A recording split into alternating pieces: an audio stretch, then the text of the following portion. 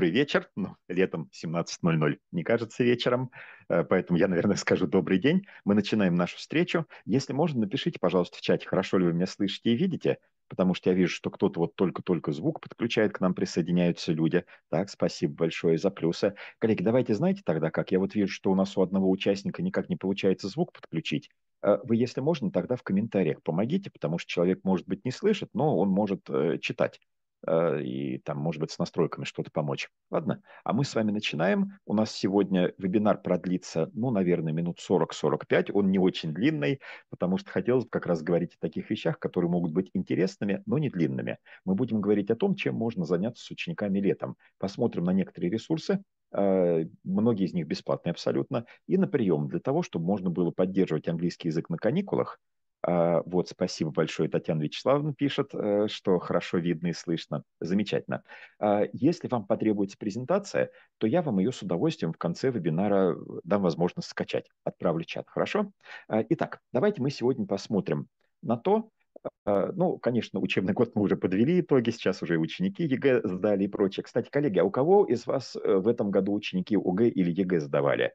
Э, ну, по ОГЭ уже результаты известны, а, а вот как по ЕГЭ ощущения? Хорошо сдали или не очень хорошо? У меня в этом году э, только две ученицы сдавали ОГЭ, э, обе сдали на, на одинаковое количество баллов, ухитрились сдать, да, то ли на 64, то ли на 65, кажется. Вот, то есть у обеих пятерки. Но ошибки разные, правда, сделали, поэтому то, что было одинаковое, это совпадение. Вот сейчас жду, какие результаты будут у двух учеников по ЕГЭ. Э, но, в принципе, сказали, что довольно несложно было в этом году. Так, вот я вижу, к нам присоединяются люди. Добрый вечер. Э, коллеги, те, кто присоединяются. Но давайте я все равно немножко расскажу о том, что можно сделать, чтобы подвести итоги учебного года, потому что понятно, что какие-то ученики приходят к нам на летние занятия, правда же? И вот ровно то же самое мы можем с ними сделать и летом. И посмотрим на то, что можно делать летом ученикам разных возрастов. И самое главное, как сделать так, чтобы эти занятия не превратились в работу с учебником, чтобы они были интересными для учеников, чтобы они были необычными, чтобы они были не скучными. И поговорим о том, что можно ученикам посоветовать. Так, я вижу, э, к нам присоединяются коллеги, и у которых свои студии есть, и которые работают с детьми младшего возраста. Вот, очень приятно, потому что я постараюсь сегодня показать разные приемы. А, итак, что можно сделать для того, чтобы провести какое-то занятие, которое подводит итоги учебному году, потому что это и сейчас можно сделать, а, и мотивирует учеников на изучение английского языка летом. Э, как вот можно это сделать? И, кстати, как можно организовать создание материалов руками учеников к новому учебному году? То есть сделать так, чтобы какие-то вещи, которые дети сделают летом, мы могли бы с вами использовать на первых уроках. На самом деле приемов очень много, я покажу только небольшую часть. Итак, например, что можно сделать для того, чтобы ученики увидели свой прогресс? Потому что вы сами знаете, оценка – это хорошо, но не всегда эти ученики доверяют оценке. Или, скажем так, не то, чтобы они не доверяли, они не всегда в нее вкладывают какой-то большой смысл. Потому что они привыкли, что оценка иногда зависит от взгляда преподавателя, они могут с ней не соглашаться. Поэтому что можно сделать? Можно предложить ученикам попробовать написать, что они знали и умели в начале года, и что они знают в результате этого учебного года. В качестве опоры удобно дать таблицу. И помимо знаний, потому что знание вещь такая, сегодня знал, завтра забыл, можно включить какие-то отношения к чему-то, и можно включить мотивацию. Например, посмотрите, можно сделать так предложить ученикам подумать, как они начинали учебный год в сентябре и как они его сейчас закончили. И попробовать написать, например, favorite subject, subject then, favorite subject now hardest subject then, hardest subject now. Я, например, очень рад, что у тех учеников, с которыми я в этом году занимался, помогал им готовиться к ОГЭ и ЕГЭ, они мне говорили, что английский в начале года им казалось трудным, а сейчас вдруг все неожиданно легко оказалось. Ну, я, естественно, им объясняю, что это легко, потому что они работали и потому что они занимались, иначе легко не было бы. Э, какие-то еще вещи можно вписать, например, spot you are good at then, spot you are good at now, most difficult rule then, most difficult rule now, и так далее, и так далее. То есть это фактически опора для начала рефлексии, для начала обсуждения. Но она очень здорово помогает ученикам увидеть, как у них вкусы изменились, предпочтения, что им казалось трудным, кажется сейчас простым, что им сейчас кажется трудным. То есть, по сути, с этого очень легко вывести разговор на то, чем же можно позаниматься летом, для того, чтобы вот сильные стороны усилились, а слабые стороны перестали быть слабыми. Что еще можно сделать? Можно рефлексию провести в виде опор на вот такие фразы. Например, my favorite activity this year and why. I had the most fun when. The hardest part was what I like best about my class and teacher. what I'll miss the most and why, the most useful things I learned this year, My advice to students for next year. Опять очень неплохая э, опора для обсуждений, причем это можно делать с учениками любого возраста. И начальной школы, как только они Past Simple освоили, и со старшеклассниками можно делать. Конечно, можно поменять какие-то фразы, это всего лишь одна из идей. Дальше, что еще можно сделать? Еще можно устроить вот такой вот мини-проект. Провести, предложить ученику сделать презентацию, например, за год каких-то самых лучших фотографий, самых важных, самых ценных за учебной. Но не просто их показать, а подготовить объяснение, почему выбраны именно они. При этом, вы знаете, вот такие вещи любят делать и совсем маленькие дети, потому что в телефонах у них все равно фотографии есть. А, и старшие ученики тоже на самом деле любят делать. И иногда выбор оказывается очень неожиданным того, что они показывают. А, но тем не менее это заставляет их задуматься, э, посмотреть на свой год. А поскольку про себя говорить любят все, в принципе, то это становится хорошей мотивацией для рассказа. Дальше. А, помимо того, что мы оглядываемся назад, очень важно посмотреть вперед, потому что лето – это все-таки не школьная пора. Лето – это время отдыха, это время каких-то интересных занятий, которых нельзя было себе позволить в течение учебного года, например, поездки какие-то, хобби и прочее, прочее, на что не хватало времени, сил, возможностей и прочих вещей. Поэтому что можно сделать? Можно предложить, например, ученикам написать предположение о том, а, кто из их одноклассников как проведет лето. И, они, э, и вот они предложения написали, мы их складываем в коробку, в пакет, а в сентябре можно начать как раз с прочтения этих предположений и сравнения с действительностью. Поэтому то, что уроки уже закончились, оно совсем ничуть не мешает. То же самое можно сделать, например, про одноклассников и сейчас. Точно так же, кроме одноклассников, можно написать про родственников. Если, например, э, вы занимаетесь с ребенком отдельно, он вы с ним не работаете в школе и в классе, а это какие-то частные уроки, точно так же можно сделать, отложить потом и в конце лета посмотреть. Но на самом деле в этой ситуации я предложил бы не столько про родственников писать, сколько чтобы ученики написали про себя, свои планы на лето, что я собираюсь сделать, что я надеюсь сделать, что я надеюсь я смогу сделать, что я боюсь я не смогу сделать, что я хотел бы сделать и так далее, и так далее. Что еще можно делать? Давайте посмотрим на то, что можно использовать из учебных пособий, но посмотрим, может быть, мы можем как-то их необычно, эти вещи использовать. А, и давайте вот с чего начнем. Например, можем взять стихи на английском языке. Почему стихи? Понятно, что летом дети не очень расположены по много заниматься.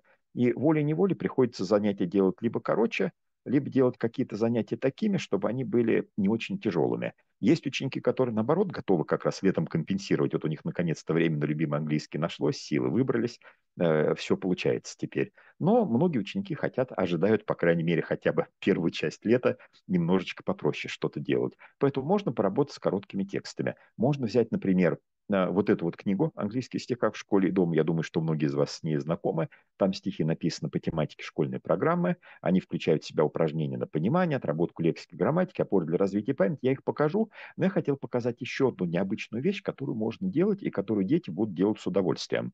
А, можно устроить небольшую проектную работу. Взять и к этой книге создать песни а, с помощью нейросети – Коллеги, вы знакомы с нейросетью, которая пишет песни по вашему заказу? Напишите, пожалуйста, в чате, поставьте, пожалуйста, плюс, если знакомы и пользуетесь, минус, если не знакомы, и вопросительный знак, если, например, хотели бы узнать про нее побольше, чуть-чуть. Так, вот я вижу, кто-то уже пишет «нет» и хотели бы узнать. Коллега, как у вас у остальных дела? Знакомы с, такой, с такими нейросетями? Я на самом деле как-то проводил вебинар э, зимой, по-моему, про нейросети для учителя английского языка. Но если вам интересно, то я готов даже небольшой тренинг провести. Э, мы посмотрим, может быть, в конце июня, может быть, в начале июля, вот как вам поудобнее будет. Так, а, а сейчас давайте я вам покажу такую бесплатную нейросеть. Она на самом деле очень удобная, ее освоить очень просто. Э, я сейчас покажу, что я сделал, и мы прям с вами послушаем песню. Хорошо? Э, я взял вот это вот стихотворение. Оно мне очень нравится, поэтому я его очень часто показываю. Оно на самом деле довольно простое. Э, помните, здесь, э, поскольку дети только-только начинают осваивать английский язык, это прямо для начальной школы хорошо работает. Тут есть стихотворение, но оно очень хорошо передает характер этой книги, потому что здесь очень часто неожиданное окончание совсем в этих стихах. Так, расскажу. Вот как раз э, Наталья Борисовна пишет, в этом году брала стихотворение с данного сборника для рекламации на школьный конкурс чтецов. Э, Наталья Борисовна, и как, э, и как были успехи? Понравилось детям? Стихотворение очень простое, посмотрите. Broom, broom, I'm in my room. I've got a table, I've got a bed. I've got an armchair, it's for my cat. I've got a room and the room is small. I've got a poster on every wall. I've got a computer and a large TV, and I lock my, uh, lock my room with a secret key. The key's on the bookshelf, books stand up in line. I've got a room, and the room's all mine. They call me lonely Jim at home. And yes, it's fantastic to be alone. То есть, когда ты читаешь заголовок, начинаешь с детьми обсуждать, как вы думаете, о чем стихотворение? Говорят, ой, наверное, грустное будет, потому что lonely — это же одиноко, это плохо. А мы вдруг узнаем, что это стихотворение про мальчика, который очень любит свою комнату. Причем, посмотрите, тут у нас и глоссарии есть, э, на случай, если ученикам какие-то незнакомые слова попались. И система работы есть, послушай стихотворение, скажи, о чем оно, на какой картинке изображена комната одинокого Джимми, то есть надо прочитать, понять, какие там детали совпадают, не совпадают. А затем идут занятия на лексику и грамматику, упражнения, Э, вот такие вот, и ответь на вопросы, это на понимание, и слушай диктор. К этой книжке есть э, все стихотворения записаны на аудио, очень, кстати, красивым, приятным голосом. Поэтому вы можете скачать аудиозапись, вам для этого даже не обязательно книжку в руках держать. Вы можете зайти на сайт englishteachers.ru, э, это онлайн-магазин издательства «Титул», взять вот эту вот книгу в разделе «Книги для чтения», Э, и в аннотации вы увидите ссылку на скачивание аудиозаписи. Поэтому вы можете взять стихи. Но я вам покажу, как можно песню создать. Хорошо? Э, итак, тут ученики дальше созда... Э, читают стихотворение самостоятельно, запуск... заполняют пропуски существительными, заполняют пропуски глаголами. К тому времени, как они все это сделали, они уже выучили стихотворение наизусть, потому что оно простое. И последнее задание – опиши свою комнату, попробуй сделать это в рифму. А давайте я вам покажу, что можно сделать для того, чтобы создать песню. А, есть вот такое, такая нейросеть э, Suno AI, называется, или можете просто набрать suno.com, и она позволяет создавать песни. Давайте, знаете, как сделаем? Я тогда могу провести отдельный тренинг, просто показать, как это делается, хорошо? А сейчас я покажу результат. А, я вам потом э, отправлю ссылку, вернее, презентацию. Вы сможете по этой ссылке пройти сами эту песню, послушать в случае необходимости. Прямо сейчас вы можете, если у вас под рукой телефон есть, сканировать QR-код и эту песню открыть. А я давайте сделаю вот как. Я сейчас э, снова запущу демонстрацию экрана. Одну секунду. Я просто хочу сделать так, чтобы у нас с вами и звук тоже был. А, так, одну секунду. А, и я вам покажу, какая песня получилась у нейросети. А, у этой нейросети удобство в том, что вы можете сами выбирать жанр, какой получится. А, вернее, не какой получится, какой вы хотите получить. А, я, эту, э, я эту песню создал буквально за 4 минуты, честно скажу, потому что я перед вебинаром просто подумал, хорошо, конечно, идею показать, но одно дело идею, другое дело показать материал. Причем, посмотрите, вот у нас этот текст, мы с вами видим, broom, broom, I'm in my room и так далее, так далее. Мы с вами видим у нас картинка появилась. Причем у нас картинка появилась именно с... Э, вот у нас и код у нас есть. Правда, он тут э, не, не, на, не, не в кресле сидит, поэтому картинка не всегда бывает правильной. Вот у нас bookshelves и так далее, и так далее. То есть песня нам рисует. Единственное, что посмотрите, пожалуйста, я создал эту песню. Э, здесь нельзя регулировать, какой голос будет. Э, тут у нас э, мужской голос появился, не детский. Но давайте все равно послушаем. Э, и я заказал, чтобы были жанры рэп и хип-хоп, потому что мне показалось, что такой ритмичный текст, который у нас получится. И давайте мы с вами посмотрим. Итак, я запускаю песню.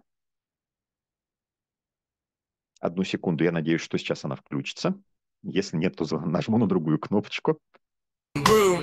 I'm in my room.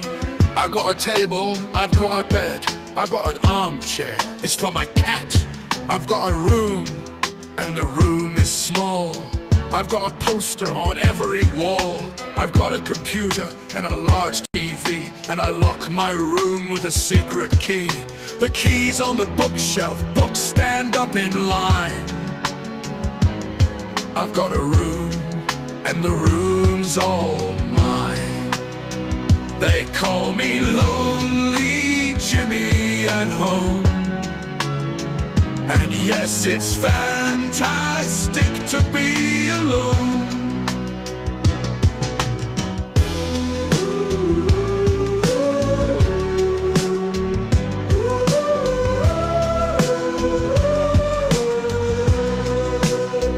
The keys on the bookshelf, books stand up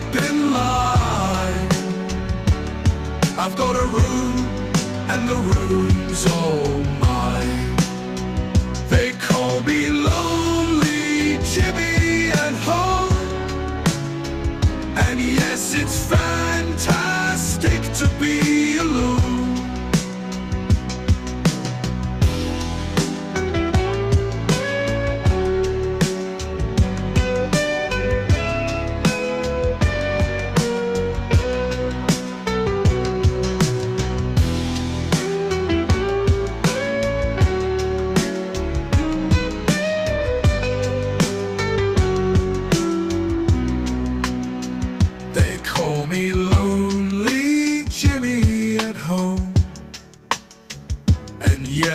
Fantastic to be alone.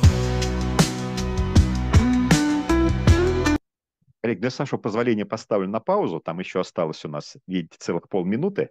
А, и если вы посмотрите, то вы увидите, что мне э, нейросеть создала сразу несколько вариантов этой песни.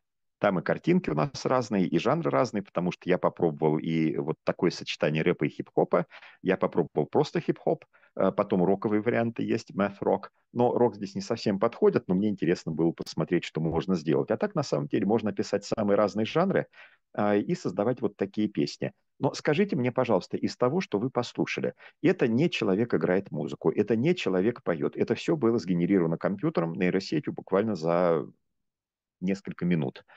Как у вас ощущения? Как вы думаете, может ли такой проект быть интересен, когда дети берут эту нейросеть, она абсолютно бесплатная, берут нейросеть и пытаются создать песни к стихам, и затем просто показывают и соревнуются, какие у них песни получились. Если у вас не много учеников, а один ученик, то может и один ученик тоже показывать.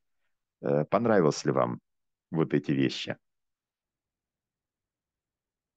А, вот коллеги спрашивают, не проводится ли больше фантастический конкурс. Мы с ребятами участвовали, всем очень понравилось. Да, мы несколько лет назад проводили такой конкурс, когда дети выбирали стихи, и они их читали. Ну и затем получали призы. Там авторы очень много работали, мы все тоже работали по оцене. Вы знаете, я думаю, что мы можем подумать, а, но мы посмотрим. Может быть, э, почему бы и нет. На самом деле есть чем поработать. Так, вот я вижу, некоторым коллегам понравилось. А, и посмотрите, у нас в чате уже есть ссылка, по которой можно найти а, аудио в описании книги, это вы скачаете то, как начитано диктором. Не песни, конечно же.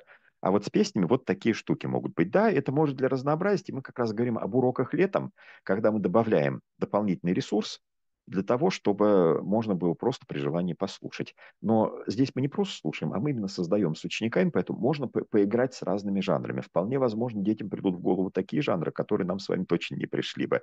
По крайней мере, я прямо вот уверен, что у меня восприятие тут очень узкое, а у школьников явно оно будет пошире.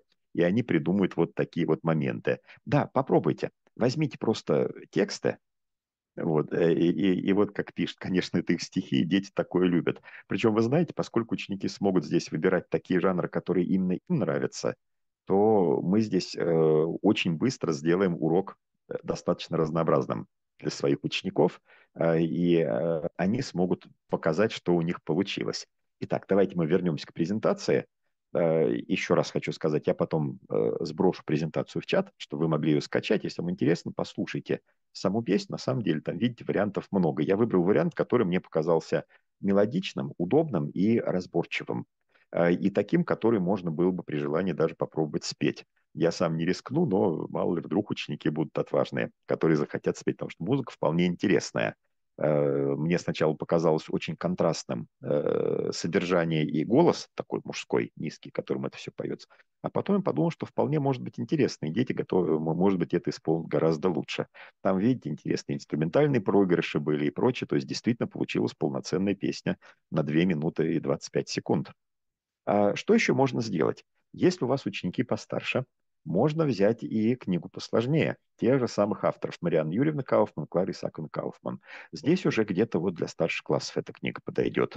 Э, тут у нас на обложке написано 13+, но это действительно для подростков. Девятый класс э, уже смогут осилить, 10-11 точно осилят. У кого-то, может быть, и в восьмом классе ученики осилят.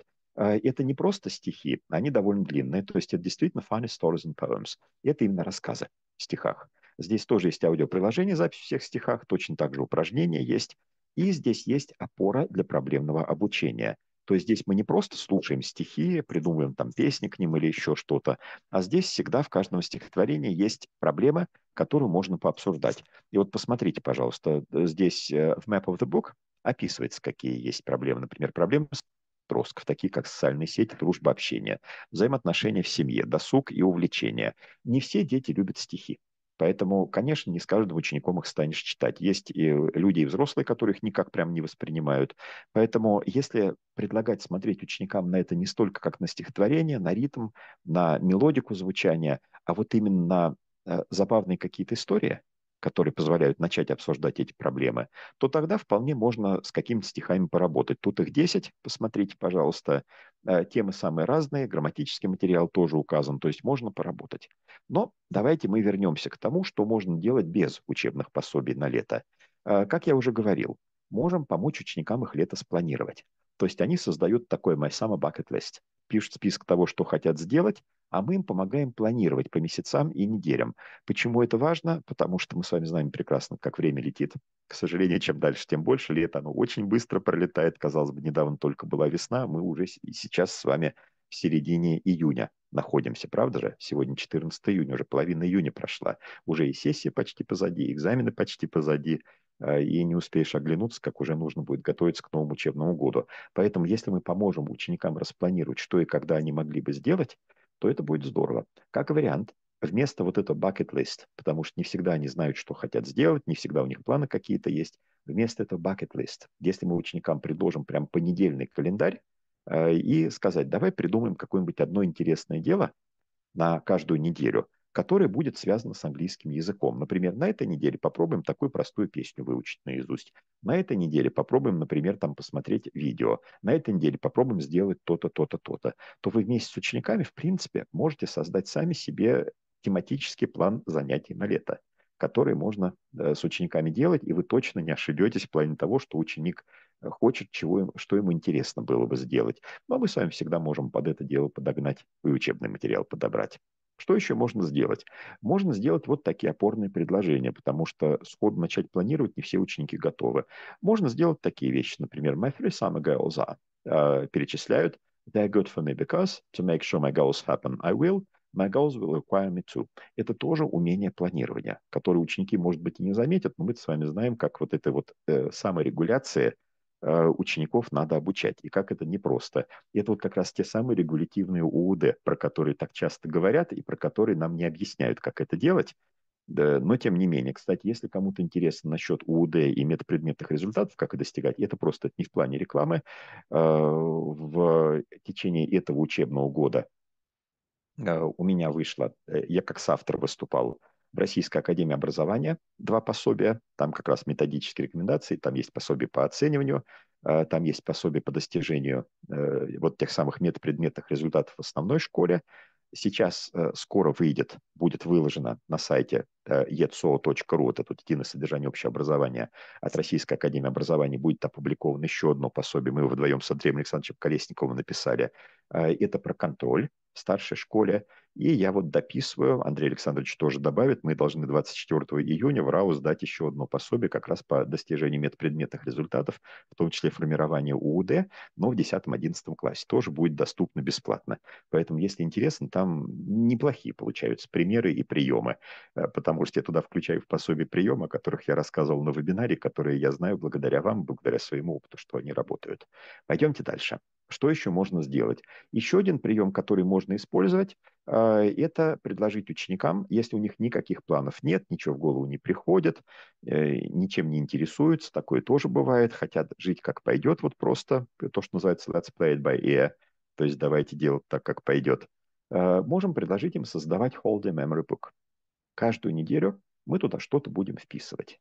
Э, и можно взять бесплатный шаблон, готовый прямо в PDF, распечатать его, чтобы ученики писали. Либо это можно делать в электронном виде э, с помощью, например, Miro или еще какой-то э, электронный цифровой, вот это вот Interactive Whiteboard, где можно создавать такие вещи, или с помощью других инструментов. Давайте мы тогда, вот, когда мы будем планировать вебинар, небольшой тренинг вот поэтому по созданию песен и прочих вещей, давайте я вам покажу еще парочку нейросетей, которые тоже можно использовать для таких вещей. Хорошо? А, вот как это может выглядеть, Memory Book. А, например, либо про каждый день вот так писать. Это, знаете, вот тот самый микродневник, который не трудный, который не тяжело сделать, потому что здесь очень материал необъемный, который могут и младшие школьники осилить, который могут и старшеклассники сделать тоже. Day one. The best part about the first day was. Uh, пишут, что понравилось. The weather was, the people were, the only thing I would change would be. Tomorrow I hope. И так далее. И можно какие-то, например, uh, тут не обязательно картинки приклеивать. Тут можно просто вписать, что видел, что сделал, куда ездил. То есть это те самые опоры, которые помогают ученику как-то структурировать свои мысли, и записывать какие-то события. И в то же время это не тяжело. И это тоже можно сделать частью урока. Правда же? Например, мы можем на каждом уроке такое быстренько заполнять, выделить, например, там минут 5-6 на это, на все, в зависимости от скорости, от уровня ученика. Вполне может получиться. Что еще можно делать? Давайте теперь пойдем от младших школьников к школьникам постарше. Мы вот все больше пока про младших смотрели, но те приемы, которые я показывал, они в принципе работают с любым возрастом. Давайте мы теперь на более конкретные возрастные вещи посмотрим. Итак, младшие школьники. Например, берем пособие э, Натальи Владимировны, по-моему, Михайловой. Я прошу прощения, если... Э, а, господи, не Наталья Владимировна, конечно же, на нуле, Влади... на нуле Владимировны Михайловой учим английский алфавит. Зачем нужно? Затем, чтобы ученики могли за лето не просто повторить алфавит, а составить свой личный словарь. То есть это вот, знаете, для таких учеников, которые слабые, которые только-только, например, готовятся поступать в школу, изучили алфавит, это если вы с дошкольниками работаете, или только-только второй класс закончили. Как это работает? У нас каждая страничка посвящена отдельной букве, и она э, разделена на несколько частей. Когда, например, ребенок э, написал эту букву, произнес слово, пишет свои слова, которые э, начинаются на эти буквы, э, и затем I know и пишет как можно больше слов, которые он знает на эти буквы. На самом деле совсем простая вещь, очень простая, но это вот хорошо, когда летом какие-то маленькие опоры нужны, тоже можно как часть урока использовать. То есть вспомнили, молодец, пойдем дальше. И к концу лета у нас мини-словарик появляется, который ребенок сам составил. Насчет песен и стихов есть, конечно, и готовые песни. Это вот э, известная серия пособий Клары Сактамариан Юрьевна Кауфман «Songs and Poems». Есть «Songs and Poems for Junior School», есть «Songs and Poems for School». Поэтому, если вы, например, хотите использовать какие-то еще стихи, кроме э, вот той книги английских стихах в школе и дома, пожалуйста, можно взять вот эти вещи. К ним на самом деле уже песни записаны, но никто не мешает взять те же самые тексты и посоздавать новые абсолютно песни с помощью нейросети. Вот такие моменты можно делать. Что еще можно сделать? Можно использовать тренажеры упражнения, которые помогают повторять английский самостоятельно и не скучно, либо которые можно уроки, э, использовать на уроках. Это очень удобно для планирования таких занятий. Например, берем по странице или, или по одному развороту в день. Там, как правило, разворотное построение. Например, можем взять тренажер по грамматике Елены Русиновой. Здесь все довольно просто. Здесь дети сами могут прочитать правила, вспомнить его, потому что они его прошли уже в течение года, правда же? Э, здесь у нас объяснение есть. И у нас есть вот такие простые упражнения, например, э, э, которые можно использовать. И здесь мы уже видим примеры не только из тренажера Елены Русиновой, здесь мы видим задание из книги «Мишки English», Э, вернее, Мишки Грэма Артема Морозова, есть Мишки Грэма Elementary, есть Мишки Грэма Pre-Intermediate. Вот такого рода задания могут быть. Э, это тоже задание из э, пособия Артема Морозова. Посмотрите, пожалуйста, например, это вот то, что можно разнообра... чем можно разнообразить занятия, либо просто построить занятие целиком из этого. Например, те же самые артикли. Unscrambled eggs называется, потому что у нас буквы здесь перепутаны, надо сначала расшифровать эти слова, потом их вписать, и затем написать, какие из них можно использовать с артиклем «э» или «н», а какие со словом «сам». Точно так же и холодильник и прочие вещи. Либо это можно использовать в качестве домашних заданий ученикам и говорить, что, детки, сделаем вот этот вот разворот к следующему занятию. И это дополнительный момент, который хорошо разнообразит наши уроки. Мне, например, очень нравятся вот такие упражнения, которые э, помогают э, внести знания себе э, на урок, э, вернее, знания из урока перенести в жизнь. Посмотрите, например, вот это вот э, рентгеновские снимки животных. Мы, конечно, можем просто предложить посмотреть, сказать, look at the x-rays and guess the animals. А можем сказать, давайте мы с вами будем тренироваться. Например, мы захотим поработать когда-нибудь лаборантами у ветеринара, или, может быть, кто-то захочет стать ветеринаром. Поэтому давайте мы с вами потренируемся, посмотрим на вот эти вот рентгеновские снимки, и попробуем сказать, что это за животное. То есть чуть-чуть добавили коммуникативной ситуации. И все тут же это превратилось в игру. Правда же? А, то же самое посмотрите. Вот вроде бы простая совсем вещь. Справа мы видим на страничке Look at the pictures, think and write. А, но мы здесь хорошо отрабатываем this is, this are. Тоже вроде бы все простенько, но эти упражнения, которые благодаря картинкам становятся удобными и не скучными, то, что можно делать. Вот посмотрите эти две книги из серии Мишки Грэма. Есть Elementary, есть Pre-Intermediate, и сейчас у автора в планах, мы пока ждем рукопись, договорились на конец июня, но мы собираемся издать книгу, которая будет называться «Мишки Vocabulary». Э, то есть вот было Мишки Grammar Intermediate, теперь будет Мишки Vocabulary еще добавится. Причем посмотрите, какие здесь есть задачи, которые можно взять как раз на лето и которые будут не скучными. Например, unscramble the words and find out what is in the pyramid. То есть здесь дети расшифровывают вот эту вот загадку, тайну пирамиды, пытаются ее открыть. А, или, например, вот эти вот фантастически придуманные знаки. Э, здесь мы э, mustn't, can, тренируем модальные глаголы, и надо эти знаки расшифровать, догадаться. Но поскольку они очень необычные, то тут можно интерпретировать совершенно по-разному. И если с первым, например, you mustn't fly, там еще более-менее понятно, э, но вот, например, что там может скрываться за знаком номер пять? А, или что, например, скрываться за знаком номер 7, может быть. Здесь мы даем детям свободу. Они могут придумать сами, самое главное, чтобы они объяснили. И вот вроде бы мы работаем с грамматикой, но получается не скучно и интересно. Либо вот такие могут быть загадки, которые можно использовать. Конечно, мы можем и сами такие загадки придумать, но насколько удобнее, когда они у нас уже есть и написаны. Например, it has got flippers, it has got a fin, it hasn't got hands. А, и с лексикой мы здесь начинаем работать, потому что такие слова, как flippers и thin, э, дети точно не знают. Они знают обычно legs, feet, paws и так далее, и так далее. Вот с flippers и fins как-то посложнее бывает. И вот мы эту картинку нашли, при желании даже раскрасить можно, если ребенок склонен к такому творчеству.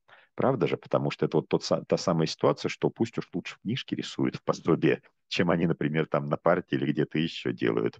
Так что здесь гораздо интереснее. И вот эта вот книга новая, если пособие Артема Морозова уже пользуется большой популярностью, но у него огромное сообщество ВКонтакте есть Миш, э, Мишки English, там уже более сотни тысяч участников, по-моему. А когда мы это пособие только начинали первый выпускать осенью, там было еще э, более 70 тысяч. Второе пособие, когда вышли, там было более 90 тысяч уже, и сейчас, я думаю, за 100 перевалило. А вот эта вот книга новая, я про нее уже говорил, а, и про нее очень хорошие отзывы от тех, кто пользуется, но, может быть, для кого-то из вас она окажется новой. И это книга Натальи Селяниновой. Наталья Николаевна не только преподаватель английского языка, она много лет работает в издательстве «Титул», по секрету скажу, на пару лет дольше, чем я. Она ведущий редактор журнала «Английский язык в школе».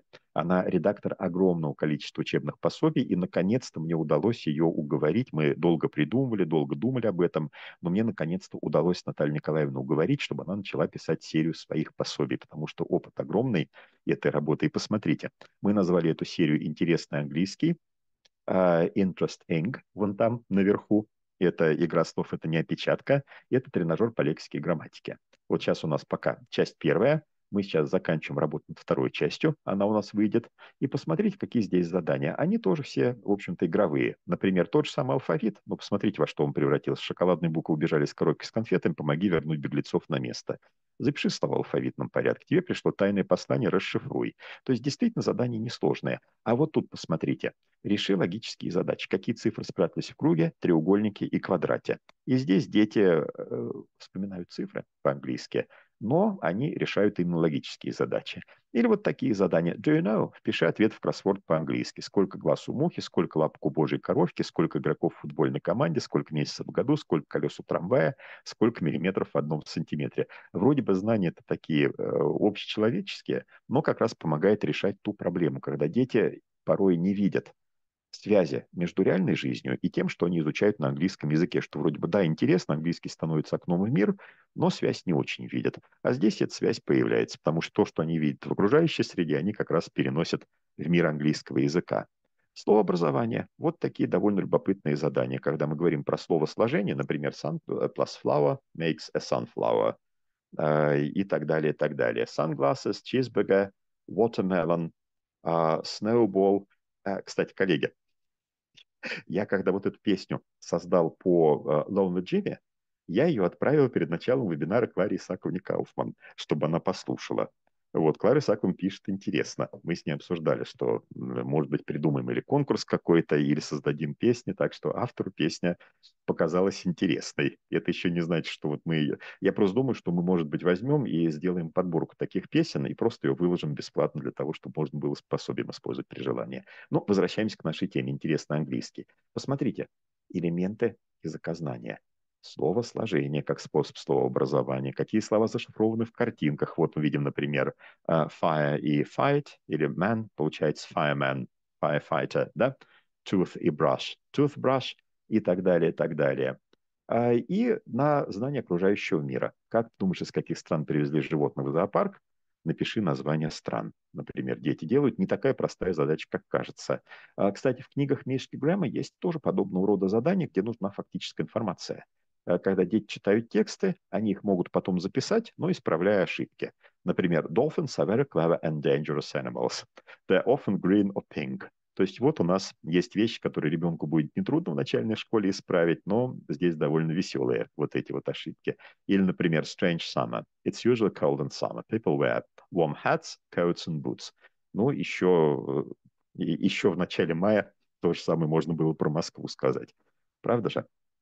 Да и многие другие регионы в России. То есть вот здесь ученики исправляют эти все ошибки. А, или, например, посмотрите вот такие вот задания – Э, на коммуникацию, когда э, дети просто учатся э, рассказывать о себе, задавать вопросы и так далее, и так далее. Тут мы и письмо пишем, учимся писать, и учимся задавать вопросы, отвечать на них. То есть есть задания и парные, и которые может ученик поделать самостоятельно. И вот парочка новых книг, которые только готовятся к выходу летом. Давайте посмотрим, будут ли они полезны и интересны школьникам. Я думаю, что многие из вас знают книгу Э, «Как читать на 5» Елены Владимировны Журавлевой и Дарьи Михайловны Тимушевой. Книжка очень популярная. А вот от тех же авторов, и есть, кстати, еще две книги вышли «My Start with English», но они вышли еще в прошлом, позапрошлом году, поэтому вы, возможно, их знаете, тоже для начальной школы. А вот сейчас мы готовимся к, к отправке типографию, готовим вот такую книгу, пропись по английскому языку, пишем и запоминаем правила чтения. Чем прописи необычная, я думаю, что вы посмотрели на страницу, и вы уже можете сказать.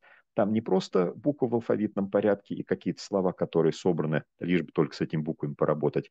А здесь дети пишут и запоминают правила чтения. То есть мы здесь э, решаем две задачи, достигаем двух целей с помощью одной книги. Например, вот у нас пер, один из первых уроков – это A. Дети обводят слова, вот эти вот буквы, lake, plane, cake и так далее, и вспоминают правила чтения, либо их запоминают и подписывают картинки. У нас тут plain, cake и прочие вещи. А, и когда мы движемся дальше, вот так на каждое правило чтения и на буквы сочетания, и на все типы слогов, э, вот эти прописи, они небольшие, там 48 страниц. Как раз хватит для того, чтобы хорошо поработать, все это запомнить и закрепить знание правил чтения. Но тут же есть, посмотрите, и вот такие вот задания «Проверь себя, подпиши картинки», маленький тестик, когда слова-то у нас есть, но их надо подписать картинкам, то есть мы и с лексикой здесь немножко работаем. И в этой книге есть и вот такой вот словарь в картинках. То есть точно так же есть где себя проверить, это не развороты. То есть увидеть 36-я страница и 40 это не то, что вот одна страница рядом с другой расположена, и достаточно туда посмотреть, чтобы все понять.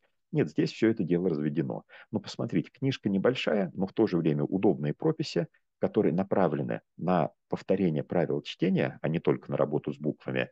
И вот там я э, э, хотел еще одну показать, но, честно говоря, много не показывал. Вот здесь один из первых уроков, поэтому тут только внизу странички отдельные буквы. А дальше идут слова, фразы и простые предложения которые используются. Вот такие вот вещи. Как вы считаете, коллеги, вот такого рода прописи, которые отличаются от обычных, потому что там просто в алфавитном порядке учатся буквы писать какие-то простые слова бессистемно, а вот именно вот по такой задумке, как вы считаете, исходя из вашего опыта, будут ли такие прописи полезны и будут ли они интересны?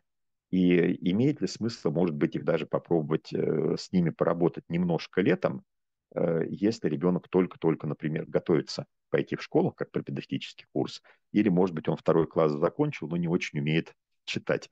Я почему про это вспоминаю? У меня э, моя крестница, она сейчас уже учится в ГИМО. Она уже на третий курс перешла, побеждает в международных конкурсах, у нее превосходный английский, у нее китайский очень неплохой и так далее, и так далее. Вот. Но я помню, когда она училась в Балашихе и закончила второй класс, мне позвонил ее отец в ужасе и говорит, слушай, говорит, помоги, пожалуйста, Лере. Я говорю, а что надо помочь? Он говорит, ты представляешь, мы, говорит, закончили второй класс, и учитель дала задание домашнее на лето. Я говорю, какое? Он говорит, учитель дала такое задание, выучить алфавит и научиться читать.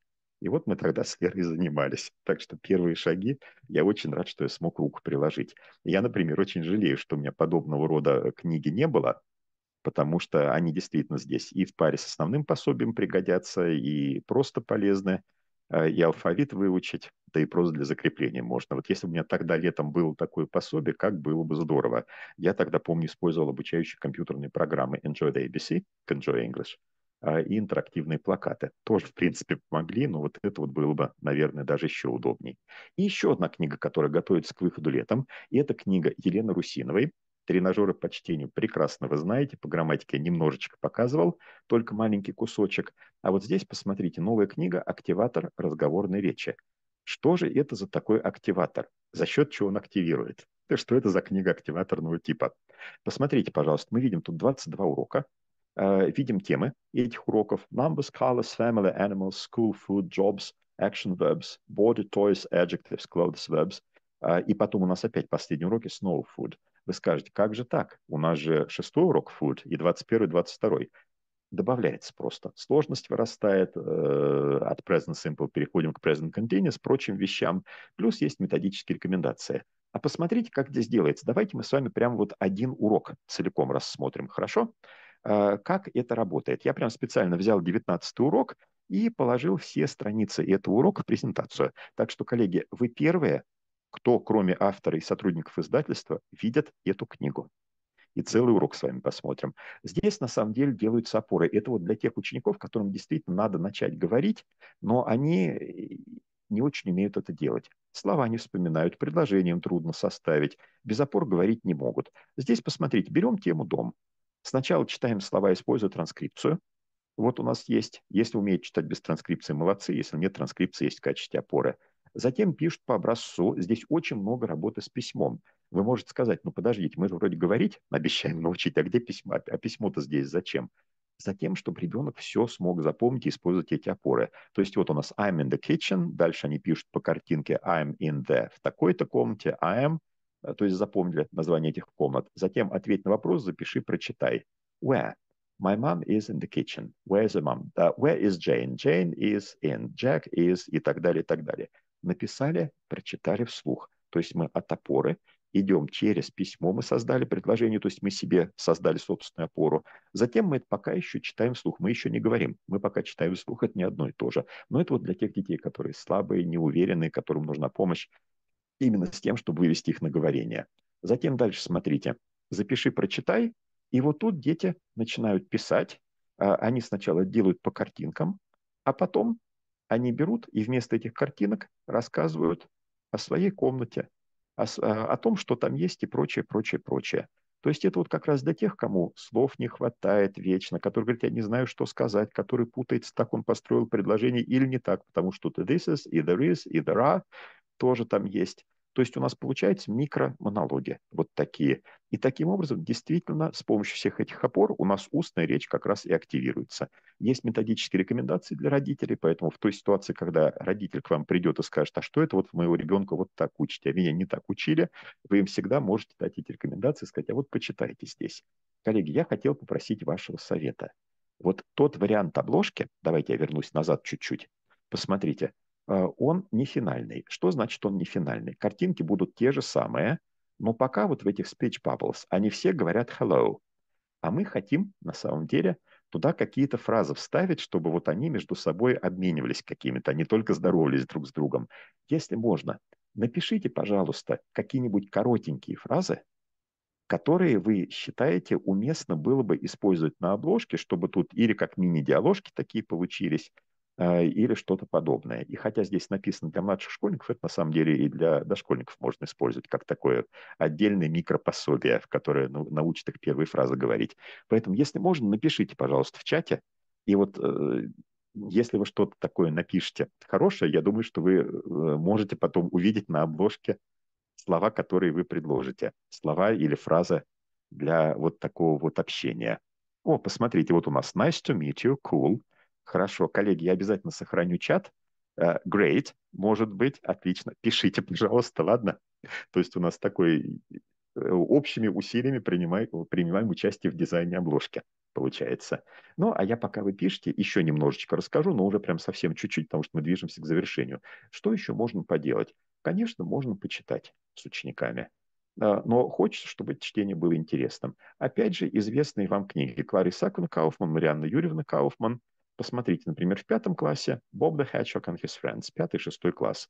Э, необычная книга, потому что мы здесь читаем дневниковые записи. У нас есть английский коттедж, загородный э, домик, в котором живет в саду семья ежей. И вот мы читаем записи из дневника ежонка Боба, ежика Боба, и мы параллельно читаем записи дневниковые Тома. Это мальчик, семья которого переезжает в этот коттедж. Он очень грустит, что у него все друзья в Лондоне остаются. И вот мы узнаем, как у них начинают развиваться взаимоотношения как он знакомится с этой семьей ежей и что там происходит. Вполне приятное чтение. Развлекательное летом небольшие кусочки очень удобно почитать и пообсуждать. Авторы, когда писали, они читали книги по биологии. И вот когда они описывают поведение и привычки ежей, это основывается прямо на книгах по биологии.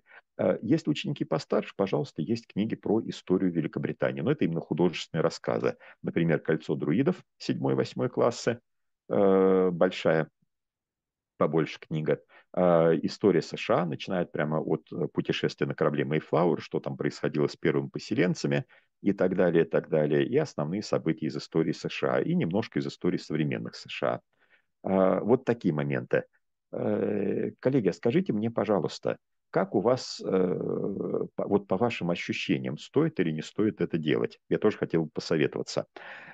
Дело в том, что Э, изучают ли у вас школьники, интересуются ли они э, в старших классах истории Великобритании. Почему я про это спрашиваю? Потому что нам предложили очень хорошее пособие, предложила его преподаватель МГУ. Э, оно не сложное по языку, но это вот 10-11 классы. Как раз простые достаточно, но интересные, емкие информационные тексты про историю Англии, начиная от древней Англии и заканчивая прямо вот современными вещами – какими-то, там много иллюстраций должно быть, много фотографий именно. То есть это вот такая история, когда можно своими глазами посмотреть, почитать и прочее. Как бы вы сказали бы, будет ли такая книга востребована и интересна? Почему я про это спрашиваю? Потому что на самом деле мы с вами знаем, что и в ЕГЭ бывают тексты из истории Великобритании, и вы, наверное, слышали сейчас, кстати, что вышел приказ Рособрнадзора, будут ВПР, следующем году, и будут ВПР в четвертом классе, в восьмом классе и так далее, и так далее. А, и вот там тоже момент страноведческого плана обычно включают. А, вот. И я поэтому сейчас думаю о том, как бы эту книгу сделать, потому что вполне возможно она будет даже в двух частях. Яркая, большая. Вот, для Олимпиад не хватает формата пособия по страноведению на 7-11 класс. Так, хорошо, спасибо. Я думаю, что действительно для Олимпиад подойдет. Спасибо большое за эту идею, потому что я, честно говоря, думал, э, как это все позиционировать. Потому что книжка действительно рукопись хорошая, интересная, а, но вот э, правильно объяснить надо, кому и зачем она нужна. Так что спасибо большое за ваш совет. В учебниках не хватает на викторинах, олимпиадах. Запрос подобной информации часто. Да, это действительно можно как раз использовать со старшеклассниками для подготовки к олимпиадам в том числе. Спасибо. А что еще можно делать летом? Давайте еще немножко расскажу. Э, у меня буквально пара слайдов осталось. Я надеюсь, вы не очень устали, потому что я представляю, как какой у вас усталость сейчас после учебного года. Многие из вас наверняка заняты на проверках работы ЕГЭ. Это все нервы, стресс и прочее. Вот чтобы такого сделать, чтобы нашу работу сделать менее стрессовой, но интересной, э, удобно с учениками читать новости. Не все подряд, потому что вы сами знаете, сейчас в новостях много очень и э, одиозной информации, очень тенденциозно поданной и прочее. Но мы можем взять специальные сайты, где новости написаны более простым языком. И вот если первый сайт, он очень знаком всем, News in Levels, и Breaking News English, наверное, тоже его многие знают, то я бы обратил ваше внимание еще на несколько сайтов. Посмотрите, пожалуйста, и newsdispatch.com. А там очень хорошие, простым языком новости написаны. Удобно выбрать. Есть из чего выбрать, скажем так. Выбирать, конечно же, надо. SimpleEnglishNews.com, тоже новости, которые пишутся простым английским языком. А, и там очень много human interest news. Э, то есть э, про выставки, про животных, про открытия какие-то. То есть есть что почитать. И, например, есть english-online.at. Тоже вполне неплохой сайт с новостями, где можно информацию выбирать. Конечно, я, я призываю к тому, чтобы сначала посмотреть, что там написано, но я с трудом представляю, чтобы учитель не просмотрел тот текст, который он будет предлагать ученикам давать. Э, и мы, там есть всегда что выбрать из того, что можно почитать с учениками, простые новости, которые становятся основой для обсуждения. И плюс, посмотрите, пожалуйста, есть интересные вещи, которые мы с вами можем делать с учениками. Мы можем стимулировать реальное общение. Но вот с посткроссинг сейчас посложнее, потому что, хотя на самом деле огромная часть мира, огромная абсолютно, Юго-Восточная Азия, очень многие страны, Ближний Восток и так далее, с удовольствием этим занимаются.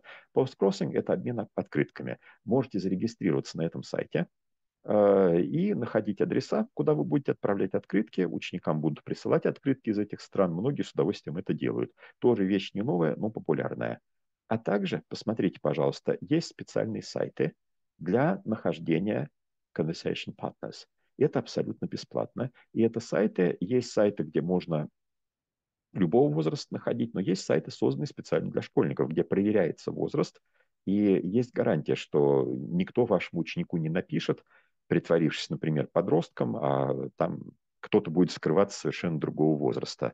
А, посмотрите, пожалуйста, здесь целый набор. Посмотрите, какие будут удобными для вас, более удобными.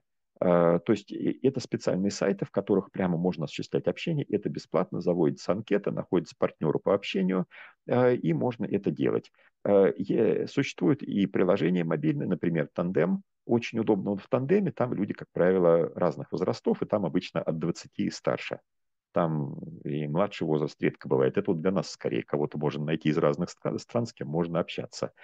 Э, и вполне интересно, оказывается, на английском узнавать про другие страны и так далее. Вот, а здесь можно прямо через эти сайты созваниваться, планировать какие-то онлайн-встречи, э, переписываться, находить себе друзей. То есть это примерно как Pen Pals, только по-английски. Плюс голосовые сообщения можно оставлять и онлайн созваниваться. Это и conversationexchange.com, и Hello Talk – и Language Exchanges, и Easy Language Exchange, и э, еще целый ряд сайтов. Поэтому посмотрите, пожалуйста, можно помочь ученикам с должной поддержкой, с должной заботой найти себе партнеров по общению и превратить английский язык из учебного материала и инструмента в средство общения. Вот такие вот вещи. Такс. Так, спасибо. Страноведение нужно. А, тест-драйв подобных новинок. Очень с удовольствием приняли бы участие в подобном мероприятии. А, коллеги, вы знаете, вот спасибо большое за идею. Я думаю, что мы можем а, объявлять пилотирование в небольшом каком-то количестве. То есть, например, мы на учителя книгу можем давать бесплатно. Я думаю, что это решаемый вопрос. Ну, а ученикам там практически по себестоимости. Я думаю, что это решаемые моменты. Так, э, из США открытки не приходят, то вы много интересных людей. Можно отправлять письма в США. А, вы знаете, я бы здесь предложил бы, кроме США, посмотреть вот с помощью пост-кроссинг на другие страны. Э, потому что Латинская Америка та же самая, Аргентина, Бразилия, э, остальные страны.